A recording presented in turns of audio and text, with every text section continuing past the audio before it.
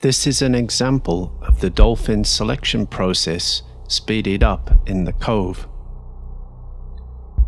When a pod of dolphins are driven into the cove in Taiji, Japan, there is a selection process procedure conducted by the dolphin trainers.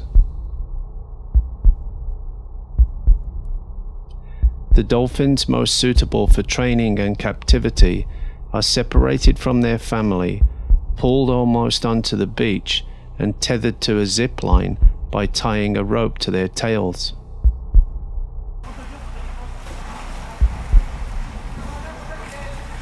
Trainers then get a closer look at their bodies as they thrash around in the shallow water.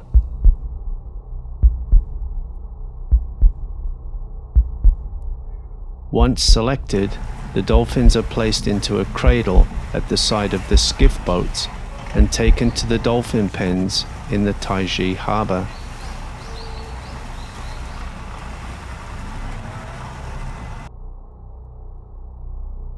Once the trainers are satisfied with their choices, the rest of the pod is slaughtered one by one.